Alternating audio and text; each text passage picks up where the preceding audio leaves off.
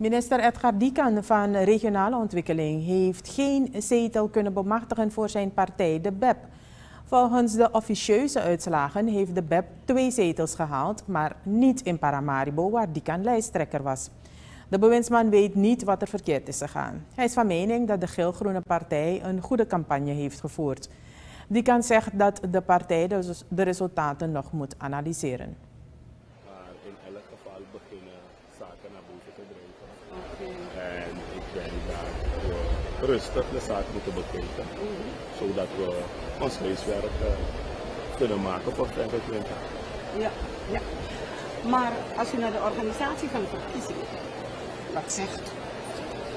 Nou, ik denk dat uh, we als Suriname toch wel goede verkiezingen kunnen, kunnen organiseren. Mm -hmm.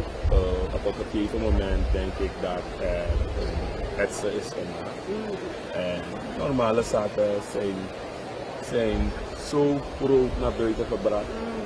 Diekan zegt verbaasd te zijn dat zo weinig mensen bekend zijn met het Surinaamse kiesstelsel. Hij zegt dat er van normale zaken problemen worden gemaakt. Wat me ook opviel is hoe weinig mensen ons verkiezingssysteem kennen. Die checks en balances die zijn ingebouwd.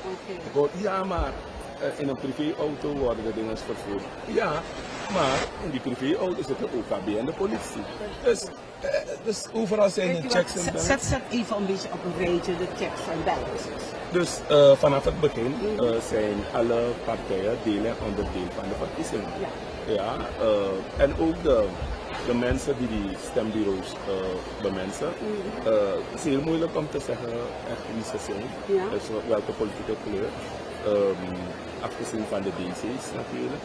Uh, maar zij zijn hoog. En dan heb je nog het OKD. Ja. Uh, je hebt die waarnemers. Uh, vooral bij de dag des stemming uh, zijn er mensen vanaf heel vroeg. Als je echt als politieke partij wil weten, hoef je niet hierop te wachten. Ja. Want je hebt al alles met je turfers. Ja. ja, het enige wat je zou kunnen nagaan is of wat men geturfd heeft op zo'n stemlocatie overeenkomt met wat op het procesverbaal Minister Edgar Diekan van Regionale Ontwikkeling. Hij was de lijsttrekker van de BEP in Paramaribo. We spraken hem vanmorgen in de ANS.